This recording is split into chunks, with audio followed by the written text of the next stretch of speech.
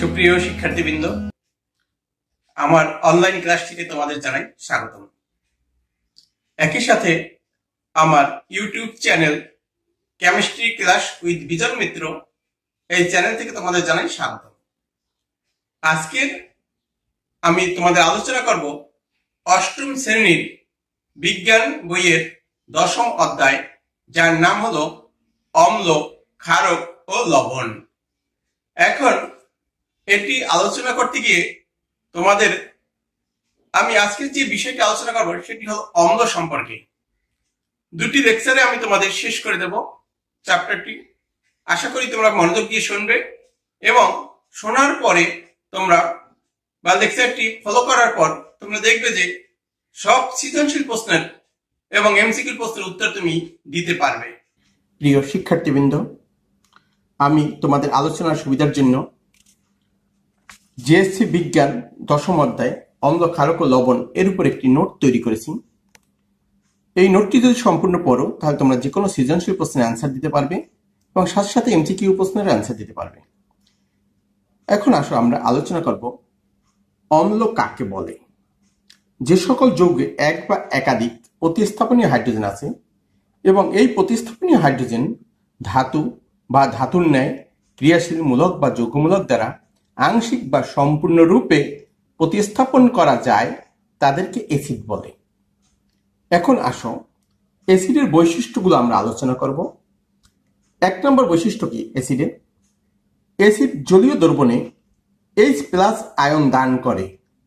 ফলে সকল অ্যাসিডই নীল লিটমাস পেপারকে লাল করবে। যেমন তোমরা লক্ষ্য করো হাইড্রোক্লোরিক অ্যাসিড জলীয় দ্রবণে বিয়োজিত হয়ে বা আয়নিত হয়ে এইচ প্লাস আয়ন এবং সিএল মাইনাস আয়ন উৎপন্ন করে। সালফিউরিক অ্যাসিডও জলীয় দ্রবণে বা পানিতে আয়নিত হয়ে এইচ প্লাস আয়ন এবং সালফেট আয়ন উৎপন্ন করে। তেমনি নাইট্রিক অ্যাসিডও পানিতে আয়নিত হয়ে এইচ প্লাস আয়ন এবং নাইট্রেট আয়ন উৎপন্ন করে। এভাবে সকল অ্যাসিডই জলীয় দ্রবণে আয়নিত হয়ে প্রোটন উৎপন্ন করে বা এইচ প্লাস আয়ন উৎপন্ন করে, যা নীল লিটমাস পেপারকে লাল লিটমাসে পরিণত করে। কিন্তু লাল লিটমাস কোনো পরিবর্তন হবে না। লাল লিটমাস পেপার যদি এইচ প্লাসের সাথে বিক্রিয়া করে, কোনো পরিবর্তন হবে না। দুই নম্বর বৈশিষ্ট্য শোনো ধাতু সমূহ অ্যাসিড থেকে হাইড্রোজেনকে প্রতিস্থাপন করে। যেমন হাইড্রোজেন যেখানে হাইড্রোজেন গ্যাস বুদবুদ আকারে বের হয়ে যায়। যেমন, এই সিএল এর সাথে সোডিয়াম ধাতু বিক্রিয়া করে সোডিয়াম ক্লোরাইড প্লাস হাইড্রোজেন উৎপন্ন করে। এখানে সোডিয়াম ধাতু হাইড্রোক্লোরিক অ্যাসিড থেকে হাইড্রোজেনকে প্রতিস্থাপন করে। সোডিয়াম ক্লোরাইড উৎপন্ন করল এবং হাইড্রোজেন উৎপন্ন করল। তেমনি সালফিরিক অ্যাসিড থেকে ম্যাগনেসিয়াম ধাতু হাইড্রোজেনকে প্রতিস্থাপন করে ম্যাগনেসিয়াম সালফেট প্লাস হাইড্রোজেন উৎপন্ন করে। এভাবে জিঙ্ক ধাতু সালফিরিক অ্যাসিডের হাইড্রোজেনকে প্রতিস্থাপন করে জিঙ্ক সালফেট প্লাস হাইড্রোজেন উৎপন্ন করবে। এখন লক্ষ্য করলাম ধাতুসমূহ অ্যাসিড থেকে হাইড্রোজেনকে প্রতিস্থাপন করে। তিন নম্বর বৈশিষ্ট্য হলো অ্যাসিড টক সারযুক্ত যেমন তোমরা টক স্বাদযুক্ত ফল খাও। কি কি? কমলা, আঙ্গুর, লেবু, তেঁতুল ইত্যাদিতে থাকে বিভিন্ন ধরনের অ্যাসিড। তাই এরা টক স্বাদযুক্ত। অ্যাসিড ক্ষার বা ক্ষারকের সাথে বিক্রিয়া করে, লবণ ও পানি উৎপন্ন করে। যেমন হাইড্রোক্লোরিক অ্যাসিড সোডিয়াম হাইড্রোক্সাইডের সাথে বিক্রিয়া করে, সোডিয়াম ক্লোরাইড প্লাস পানি উৎপন্ন করে। তাহলে যে কোনো ক্ষার বা ক্ষারক যে কোনো অ্যাসিডের সাথে বিক্রিয়া করে লবণ এবং পানি উৎপন্ন করে। ক্ষার সম্পর্কে তোমাদের দ্বিতীয় লেকচারে শিখাবো। তেমনি হাইড্রোক্লোরিক অ্যাসিড ম্যাগনেশিয়াম হাইড্রোক্সাইডের সাথে বিক্রিয়া করে ম্যাগনেসিয়াম ক্লোরাইড প্লাস পানি উৎপন্ন করে। আবার লক্ষ্য করো যে কোনো অ্যাসিড যে কোনো ক্ষারের সাথে বিক্রিয়া করে, লবণ এবং পানি উৎপন্ন করবে। এটা হলো অ্যাসিডের বৈশিষ্ট্য। পাঁচ নম্বর বৈশিষ্ট্য শোনো, সকল ধাতব কার্বনেট বা বাই কার্বনেটের সাথে অ্যাসিড বিক্রিয়া করে কার্বন ডাইঅক্সাইড গ্যাস নির্গত করে। যেমন, সোডিয়াম কার্বনেটের সাথে যদি হাইড্রোক্লোরিক অ্যাসিড বিক্রিয়া করি, সোডিয়াম ক্লোরাইড লবণ plus carbon dioxide gas plus পানি উৎপন্ন করে। তেমনি ক্যালসিয়াম কার্বনেটের সাথে যদি হাইড্রোক্লোরিক অ্যাসিড বিক্রিয়া করি, তাহলে calcium chloride plus carbon dioxide gas plus পানি উৎপন্ন করে। সোডিয়াম বাইকার্বনেটের নাম তোমরা শুনছো একে বলে বেকিং পাউডার। এই সিলের সাথে বিক্রিয়া করে sodium chloride plus carbon dioxide plus পানি উৎপন্ন করে। ইহাই হলো অ্যাসিডের বৈশিষ্ট্য। এই পাঁচটি বৈশিষ্ট্য যদি জানো, তাহলে অধ্যায়ে মোটামুটি অনেক কিছু তোমরা জানতে পারবে, অ্যান্সারও দিতে পারবে। এখন আসো, টক টক স্বাদযুক্ত ফলে কোন অ্যাসিড থাকে? যেমন আঙ্গুর, কমলা, লেবু ইত্যাদিতে থাকে সাইট্রিক অ্যাসিড। অনেকের কৌতূহল জাগে, সাইট্রিক অ্যাসিডের সংকেত কি? সাইট্রিক অ্যাসিডের আণবিক সংকেত হলো C six H eight seven তেমনি তেঁতুলে থাকে টার্টারিক অ্যাসিড টার্টারিক অ্যাসিডের সংকেত হলো আণবিক সংকেত C four H six O six টমেটোতে টমেটোতে থাকে অক্সালিক অ্যাসিড যার সংকেত হলো C two H two O four আমলকি, আমলকিতে থাকে অ্যাসকর্বিক অ্যাসিড যার সংকেত C six H eight O six এটিকে ভিটামিন সি হিসাবে তোমাদের কাছে পরিচিত। আপেল, আনারস, এটা, এটাতে থাকে মেলিক অ্যাসিড, যার সংকেত C four, H four, O four. এখন একটু লক্ষ্য করো, প্রত্যেকের। এটার যদি গাঠনিক সংকেত আমরা দেখাই, সাইট্রিক অ্যাসিডের গাঠনিক সংকেত হলো এই, তেমনি টার্টারিক অ্যাসিডের গাঠনিক সংকেত হলো এটি, এবং অক্সালিক অ্যাসিডের গাঠনিক সংকেত এটা অক্সালিক অ্যাসিড, আর এটি হলো মেলিক অ্যাসিডের গাঠনিক সংকেত। এটি কি? মেলিক অ্যাসিডের গাঠনিক সংকেত। এভাবে তোমরা অ্যাসিডগুলো তোমরা জানলে। শিক্ষার্থীবৃন্দ, অ্যাসিডের বৈশিষ্ট্য সম্পর্কে আমরা বিস্তারিত এখন জানব। লক্ষ্য করো, অ্যাসিড মানেই হাইড্রোজেন পরমাণু থাকবে। কি পরমাণু থাকবে? হাইড্রোজেন পরমাণু থাকবে। আর কি থাকবে? বলছি, ঋণাত্মক ক্লোরিন পরমাণু, ঋণাত্মক পরমাণু, এটি একটি ইলেকট্রন গ্রহণ করে ঋণাত্মক আয়নে পরিণত হয়। তেমনি হাইড্রোজেন একটি ইলেকট্রন ত্যাগ করে ধনাত্মক আয়নে পরিণত হয়। তাহলে এই যে এইচ প্লাস এবং এই সিএল মাইনাস পরস্পর যুক্ত হয়ে হাইড্রোক্লোরিক অ্যাসিড গঠন করে। কি অ্যাসিড গঠন করে? হাইড্রোক্লোরিক অ্যাসিড দ্বিতীয়ত হলো, ধরো নাইট্রেট যৌগমূলক। এই নাইট্রেট যৌগমূলক, এটা হলো মূলক, এটা হলো যৌগমূলক। একাধিক পরমাণু বা দুইয়ের অধিক পরমাণু পরস্পর যখন যুক্ত হয়ে, যখন একটি পরমাণু নিয়ে আচরণ করে এবং রাসায়নিক বিক্রিয়ায় অপরিবর্তিতভাবে অংশগ্রহণ করে, তখন তাকে বলা হয় যৌগমূলক, যেটি তোমরা অষ্টম অধ্যায়ে পড়েছ। এর সাথে এই প্লাস যুক্ত হয়ে কি উৎপন্ন করে? Nitric acid. কি অ্যাসিড? Nitric acid. তেমনি তোমরা জানো, পারকোলোরেট, এটা ঋণাত্মক আয়ন পারকোলেট যার যোজনী এক।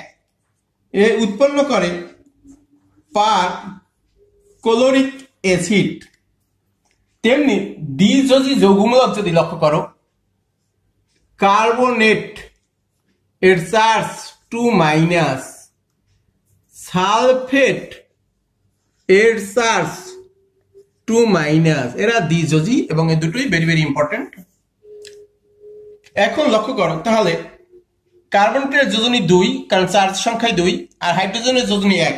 যখন আমরা যৌগটা লাগবো কার্বনেটের দুই যোজনী যাবে হাইড্রোজেনের নিচে, আর হাইড্রোজেনের এক কার্বনেটের নিচে, যা লেখা দরকার হয় না।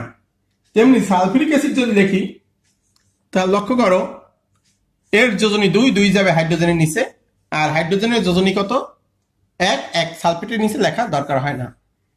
তেমনি, ত্রিযোজী যৌগমূলক আর একটা তোমরা জানো ফসফেট ফসফেটের চার্জ হয়েছে মাইনাস থ্রি এর যোজনী তিন।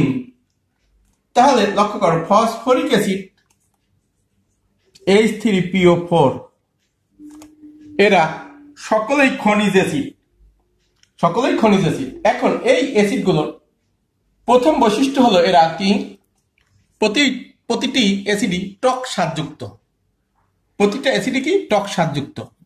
দ্বিতীয় বৈশিষ্ট্য হলো এরা পানির সাথে যুক্ত হয়ে, কার সাথে যুক্ত হয়ে? পানির সাথে যুক্ত হয়ে এইচ প্লাস আয়ন প্রদান প্রদান করে। প্রদান করার কারণে যা নীল লিটমাসকে লাল করে। এই এইচ প্লাস আয়ন কি করে? নীল লিটমাসকে লাল করে।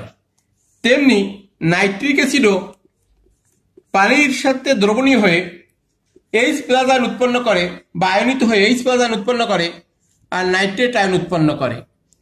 তেমনি পার কোলিক অ্যাসিডও পানিতে বিয়োজিত হয়ে প্রোটন দান করে। প্রতিটাই অ্যাসিড মানেই প্রোটন দান করবে এবং পার কোলেটায়ন উৎপন্ন করবে।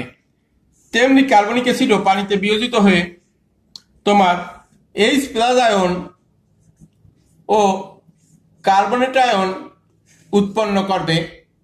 সালফিউরিক অ্যাসিডও পানির সাথে দ্রবণীয় হয় পানিতে।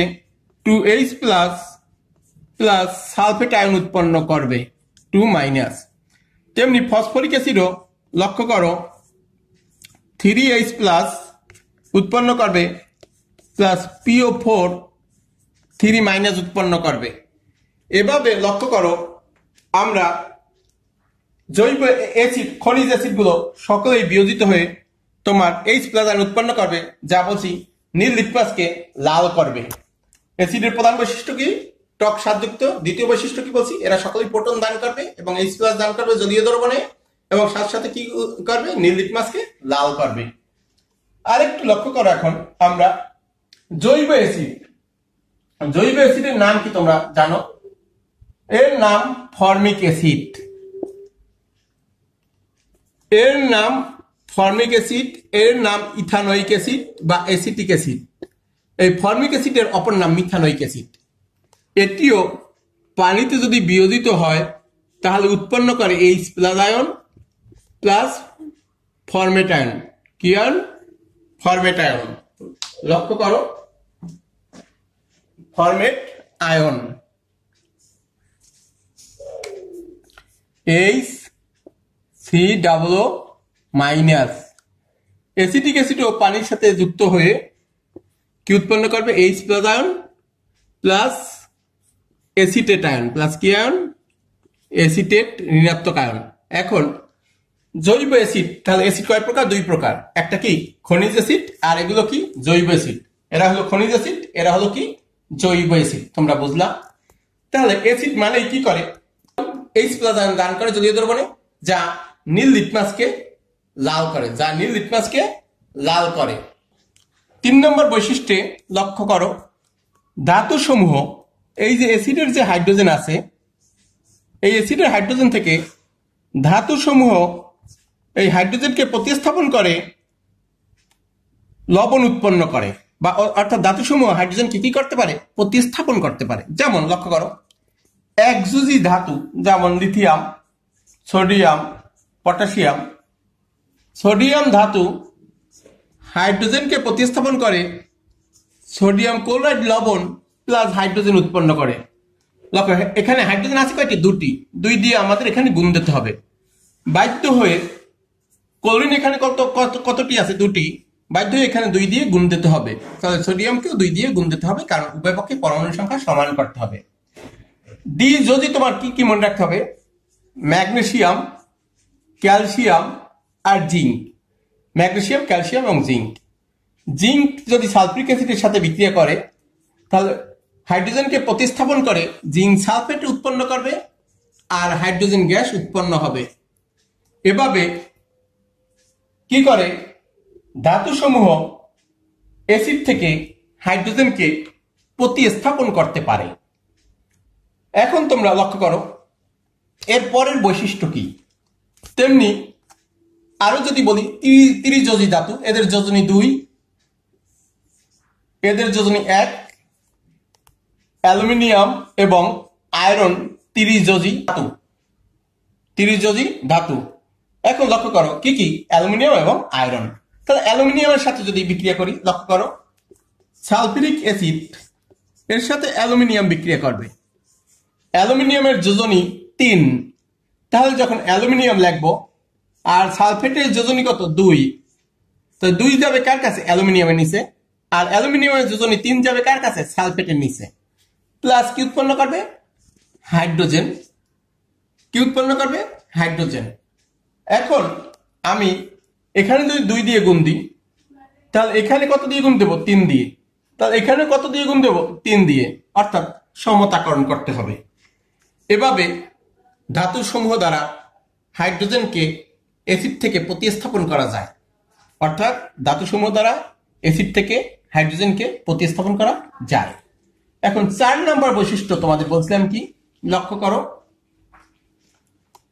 চার নম্বর বৈশিষ্ট্য হলো, ধাতু যে কোনো খালের সাথে অ্যাসিড বিক্রিয়া করে, লবণ পানি উৎপন্ন করে বা অ্যাসিডের সাথে যে কোনো খালের বিক্রিয়ায় লবণ পানি উৎপন্ন হয়।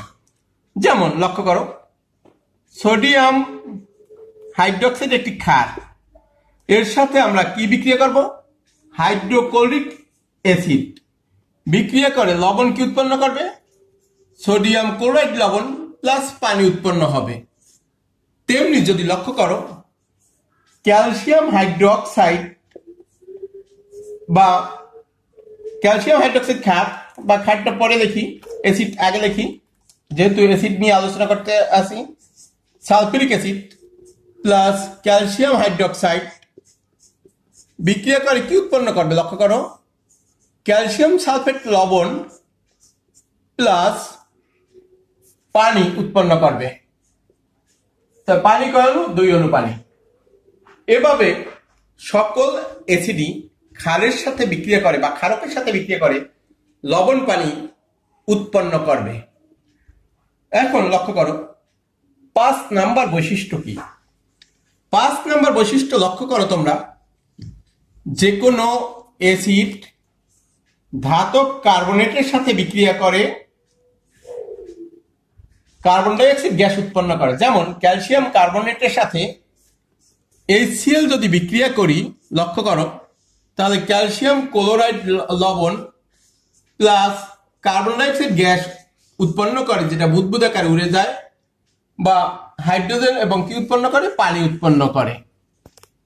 এখানে যদি সমতাকরণ করি, এখানে বাধ্য হয়ে দুই দ্বারা গুণ করতে হবে একে। লক্ষ্য করো, কারণ এখানে দুইটা ক্লোরিন আছে, এখানে দুইটা HCl আছে। তেমনি যদি সোডিয়াম বাইকার্বনেটের সাথে যে কোনো বাইকার্বনেট লবণকে সাথে বা বাইকার্বনেটের সাথে যদি অ্যাসিড বিক্রিয়া করি, তাহলেও সোডিয়াম ক্লোরাইড লবণ, যেটা তোমাদের অতি পরিচিত বলছি আগেই প্লাস কার্বন ডাইঅক্সাইড প্লাস পানি উৎপন্ন করবে। এভাবে পঞ্চম বৈশিষ্ট্যটা বৈশিষ্ট্যটি হলো, ধাতব কার্বনেটের সাথে যে কোনো অ্যাসিড বিক্রিয়া করে তার ধাতব লবণ এবং কার্বন ডাইঅক্সাইড এবং পানি উৎপন্ন করবে। এই হলো অ্যাসিডের বৈশিষ্ট্য। এখন প্রশ্ন হলো সালফিউরিক অ্যাসিড একটি অ্যাসিড কিনা? তোমাদের প্রশ্ন আসতে পারে, অথবা মিথেন কি অ্যাসিড কিনা? হাইড্রোজেন থাকা মিথেনও তো হাইড্রোজেন আছে, তাহলে এটা অ্যাসিড কিনা? এখন লক্ষ্য করো, মিথেন আগে অ্যাসিড কিনা আমরা আলোচনা করে আসি। মিথেন অ্যাসিড নয়, হাইড্রোজেন থাকা সত্ত্বেও। যদিও এর চারটি হাইড্রোজেন পরমাণু আছে, মিথেনে, কিন্তু এটি জলীয় দ্রবণে মিথেন এইচ প্লাস দিতে পারে না। এইচ প্লাস কি করতে পারে না? উৎপন্ন করতে পারে না। এইচ প্লাস কি করতে পারে না বলো? উৎপন্ন করে না। এইচ প্লাস উৎপন্ন না করার কারণে এটা অ্যাসিড না। তেমনি লক্ষ্য করো সালফিউরিক অ্যাসিড একটি অ্যাসিড কেন? সালফিউরিক অ্যাসিডের একটি অ্যাসিড কারণ সালফিউরিক অ্যাসিড নীল লিটমাসকে এটা জলীয় দ্রবণ এইচ প্লাস দান করে, যা নীল লিটমাসকে কি করে? লাল করে। এটা কি টক সারযুক্ত এটি থেকে দেখালাম কি ধাতু সমূহ এর হাইড্রোজেনকে প্রতিস্থাপন করতে পারে, আংশিক বা সম্পূর্ণরূপে আবার বলছি কি, এটি কার্বনেটের সাথে যুক্ত হয়ে কি উৎপন্ন করে? কার্বন ডাইঅক্সাইড গ্যাস উৎপন্ন করতে পারে। যে কোনো কার্বনেটের সাথে যুক্ত হয়ে কি করে? কার্বন ডাইঅক্সাইড গ্যাস উৎপন্ন করতে পারে। যেমন, এটি যদি ক্যালসিয়াম কার্বনেটের সাথে বিক্রিয়া করে, লক্ষ্য করো। ক্যালসিয়াম কার্বনেটের সাথে তাহলে কি উৎপন্ন করে? ক্যালসিয়াম সালফেট উৎপন্ন করে, প্লাস কার্বন ডাইঅক্সাইড উৎপন্ন করে, প্লাস পানি উৎপন্ন করবে। তাছাড়া বলছি কি, অ্যাসিডের গুরুত্বপূর্ণ বৈশিষ্ট্য বলছিলাম কি? অ্যাসিড ক্ষারের সাথে বিক্রিয়া করে, লবণ পানি উৎপন্ন করে। অ্যাসিড কি করে? ক্ষারের সাথে বিক্রিয়া করে, লবণ পানি উৎপন্ন করে, যা পূর্বেই দেখিয়েছিলাম যে সালফিউরিক অ্যাসিড ক্যালসিয়াম হাইড্রোক্সাইডের সাথে বিক্রিয়া করে ক্যালসিয়াম সালফেট লবণ প্লাস পানি উৎপন্ন করে। এভাবে তোমরা বুঝতে পারবে যে বিভিন্ন যৌগ দেওয়া থাকবে। সেটি অ্যাসিড না অ্যাসিড না কেন অ্যাসিডের বৈশিষ্ট্য ব্যাখ্যা করে তার ব্যাখ্যা দিতে হবে। এখন তোমরা যেটা শিখবে আরও অ্যাসিডের বৈশিষ্ট্যগুলো শিখ- শিখলাম এখন শিখবে তোমরা অ্যাসিডের ব্যবহার। তোমরা জানো, খনিজ অ্যাসিড অত্যন্ত ভয়ঙ্কর, বিপজ্জনক। তারপরও এই খনিজ অ্যাসিড আমাদের দৈন- দৈনন্দিন জীবনে অনেক কাজে আসে। যেমন, তোমার পাকস্থলিতে এই সিএলের ব্যবহার লক্ষ্য করো। এই সিএল অ্যাসিড পাকস্থলীর অত্যাবশ্যকীয় বি, এই হিসাবে উৎপন্ন হয়ে খাদ্য, দ্রব্য, হজমে সাহায্য করে। এখন লক্ষ্য করো, ইস্পাত তৈরিতে কারখানায় ঔষধ, চামড়া শিল্পে ইত্যাদি অনেক শিল্পে এই সিএল ব্যবহৃত হয়। তাহলে এই সিএল কি? তোমার হজমের জন্য অত্যাবশ্যকীয়। অ্যাসিড হিসাবে পাকস্থলী যেটা উৎপন্ন হয়, তোমার পাকস্থলীর গাত্র থেকে। তাহলে যদি এটি পাকস্থলীর গাত্রে উৎপন্ন না হতো, তাহলে খাদ্যদ্রব্য তোমার হজম হতো না। দ্বিতীয়ত দেখো, নাইট্রিক অ্যাসিডের ব্যবহার। তোমরা স্বর্ণ গহনা, স্বর্ণের গহনা তৈরির সময় স্বর্ণকাররা নাইট্রিক অ্যাসিড ব্যবহার করেন। সার কারখানায় বিস্ফোরক প্রস্তুতি, খনি থেকে মূল্যবান ধাতু যেমন স্বর্ণ আহরণে ও রকেটে জ্বালানির সাথে নাইট্রিক অ্যাসিড ব্যবহৃত হয়। নাইট্রিক অ্যাসিডের ব্যবহার তোমরা শুনবে সালফিক অ্যাসিডের ব্যবহার আমরা বিভিন্ন কাজে, যেমন আইপিএস তোমরা চেনো, অতি পরিচিত তোমাদের। গাড়ি, মাইক বাজানোর সময় সৌর বিদ্যুৎ উৎপাদনের ইত্যাদির ক্ষেত্রে যে ব্যাটারি ব্যবহার করি, তাতে সালফিক অ্যাসিড ব্যবহৃত হয়। তাছাড়া সার কারখানার অতি প্রয়োজনীয় একটি উপাদান হলো সালফিক অ্যাসিড। এছাড়া ডিটারজেন্ট তোমরা চেনো, ডিটারজেন্ট সকলেই চেনো, তোমাদের অতি পরিচিত পরিচিত। সেই ডিটারজেন্ট থেকে শুরু করে নানা রকম রং ঔষধপত্র, কীটনাশক সহ পেইন্ট, কাগজ, বিস্ফোরক ও রেয়ন তৈরিতে প্রচুর সালফিক অ্যাসিড ব্যবহৃত হচ্ছে। তাহলে এগুলো তোমাদের প্রয়োজনীয় জিনিস এবং মুখস্থ রাখতে হবে এবং পরীক্ষায় আসবে। এমসিকিউ সহ রিটেনে আসবে। দেখো, তোমরা এই যে অম্ল ক্ষারক লবণ, এটি নবম শ্রেণীতেও দশম শ্রেণীতেও হুবহু পাবে। কিন্তু জিএসসি লেভেলে বা অষ্টম শ্রেণীতে তোমাদের এটি কঠিন লাগতে পারে। আসলে এটি কঠিন কিছু না। তোমাদের কি কি অ্যাসিডের বৈশিষ্ট্য? স্বাভাবিকভাবে এই পাঁচটি বৈশিষ্ট্যই তোমরা মনে রাখবা। যে অ্যাসিড কি টক স্বাদযুক্ত? অ্যাসিড কি করে? জলীয় দ্রবণে হাইড্রোজেন আয়ন প্রদান করে। সকল অ্যাসিডই জলীয় দ্রবণে কি করবে? এইচ প্লাস দান করবে এবং যে এইচ প্লাস নীল লিটমাসকে লাল করবে। তাহলে অ্যাসিডের বৈশিষ্ট্য কি? এর জলীয় দ্রবণে এইচ প্লাস আয়ন দান করবে, সাথে সাথে এটি কি করবে? নীল লিটমাসকে লাল করবে। দুই নম্বর, তিন নম্বর বৈশিষ্ট্য বলছে কি? অ্যাসিড সমূহ হতে ধাতু সমূহ অ্যাসিড থেকে হাইড্রোজেনকে প্রতিস্থাপন করবে। চার নম্বর বৈশিষ্ট্য বলছে কি? অ্যাসিড ক্ষারের সাথে বিক্রিয়া করে লবণ পানি উৎপন্ন করবে। অ্যাসিড ক্ষারের সাথে বিক্রিয়া করে কি উৎপন্ন করবে? লবণ পানি উৎপন্ন করবে। পাঁচ নম্বর বৈশিষ্ট্য বলছে কি? যে কোনো কার্বনেট বা বাইকার্বনেট লবণের সাথে বা যৌগের সাথে অ্যাসিড বিক্রিয়া করে কার্বন ডাইঅক্সাইড গ্যাস নির্গত করবে, সাথে সাথে সেই যৌগের লবণ ও পানি উৎপন্ন করবে। সেই ধাতুর লবণ এবং পানি উৎপন্ন করবে। এবার এই হলো অ্যাসিডের বৈশিষ্ট্য। এই পাঁচটি বৈশিষ্ট্য যদি তোমরা জানো, তাহলে অ্যাসিড সম্পর্কে সবই সবই জানবে এবং সাথে সাথে অ্যাসিডের ব্যবহারগুলো তোমাদের মুখস্থ রাখতে হবে। একটু অ্যাসিডের ব্যবহার যদি তুমি মুখস্থ না রাখো, তাহলে পারবে না। আর অ্যাসিড যখন যৌগ লেখবা অ্যাসিড লেখবা তখন যৌগমূলক সম্পর্কে তোমার একটু ধারণা থাকতে হবে। তবে যৌগমূলক সম্পর্কে আবার একটু অনেকের কৌতূহল জাগে। তোমাদের লক্ষ্য করো, অনেকে প্রশ্ন করো, সালফেটের টু মাইনাস হলো কেন? সালফেটের টু মাইনাস হলো কেন? লক্ষ্য করো, অক্সিজেনের চারটা অক্সিজেন থাকে। অক্সিজেনের চার্জ কত? মাইনাস টু ইন্টু কত হয়? ফোর। চার দুগুণে কত? আট। সালফারের চার্জ হলো প্লাস সিক্স। যোজনী কত সিক্স? চার্জ হলো প্লাস সিক্স। এখন, যদি মাইনাস আট থেকে প্লাস সিক্স যায় সালফারের, তখন কত থাকে? Minus two. এই কারণে সালফেটের চার্জ মাইনাস টু।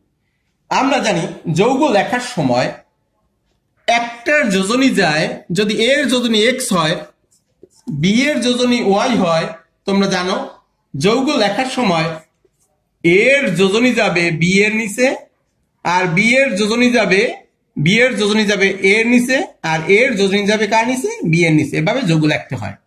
যেমন বলছিলাম কি, ফসফেটের যোজনী কত? P four two three minus এর যোজনী তিন। আর হাইড্রোজেনের যোজনী কত? এক। হাইড্রোজেন কি? এইচ প্লাস এইখানে চার্জ কত? এক। এই দুটো যদি যোগ করি, তাহলে কি হবে?